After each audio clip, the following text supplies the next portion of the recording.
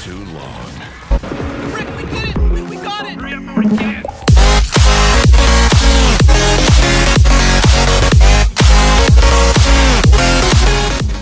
can!